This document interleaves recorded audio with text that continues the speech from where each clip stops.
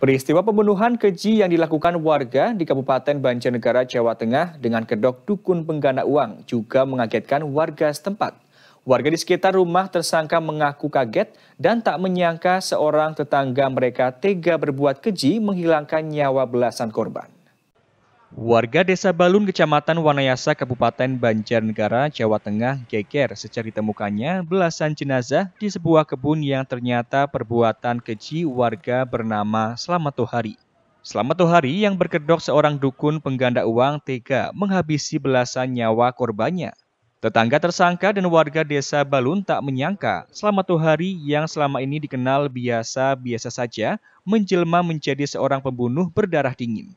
Sejumlah warga mengaku tak percaya saat mendengarkan kabar bahwa Selamat Tuharilah yang melakukan pembunuhan keji terhadap belasan warga yang semuanya dijanjikan akan mendapatkan uang hasil penggandaan.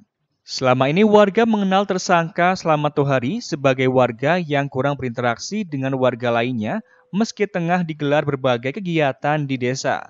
Sedangkan kebun milik tersangka tak pernah digarap seperti kebanyakan warga lainnya. Ini polisi menemukan banyak sekali mayat. Iya, Selama ini curiga nggak sih Pak? Ini? Saya pernah lewat sini ada gundukan tanah, hmm?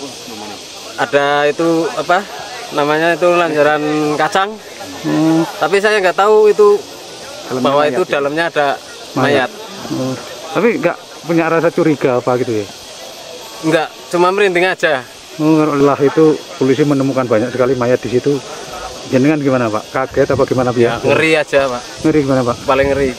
Hmm, ngerinya gimana? Berinting eh, seperti apa ya? Gak nyangka. Hmm, gak nyangkanya kenapa? Gak nyangka kok di sini ada kuburan. Hmm. Kaget, cuma kaget saya kaget sekali. Kagetnya kenapa? Pokoknya saya kemakan Ya astagfirullahaladzim, ini kejam sekali kayak gitu. Hmm. Saya kok tahu kalau itu yang bunuh Pak Selamat itu dari siapa? Itu dari orang, orang Subuhan. Hmm. Tadinya Subuhan kan jamaah, ah. jamaah di Subuhan lah itu katanya yang bunuh itu Pak namanya kan Tuhari. Oh, Pak Selamat namanya kan Tuhari itu kan hmm. nama mungkin hmm. nama apa Terus kaget Bu? Kaget innalillahi. Hmm. Kagetnya gimana? Ya. Ya kaget sekali lah. Selama ini Pak Selamat nggak ini? Ya saya ngira nggak ngira kayak gituan lah. Nggak tahu. Peristiwa pembunuhan sadis oleh dukun pengganda uang ini terungkap berawal dari adanya laporan orang hilang dari keluarga korban.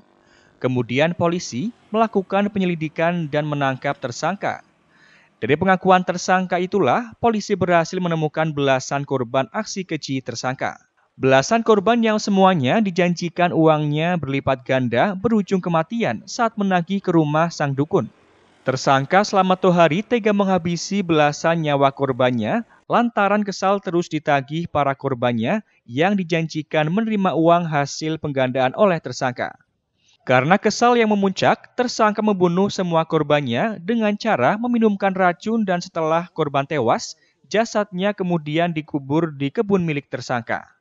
Sementara, saat ini polisi terus melakukan pengembangan untuk mencari kemungkinan adanya korban lain Dua pelaku saat ini diamankan Mapolres Banjarnegara, Jawa Tengah, tersangka dijerat dengan pasal 340 tentang pembunuhan berencana dengan ancaman hukuman mati. Dari Banjarnegara, Tim Liputan, Satelit TV, mewartakan.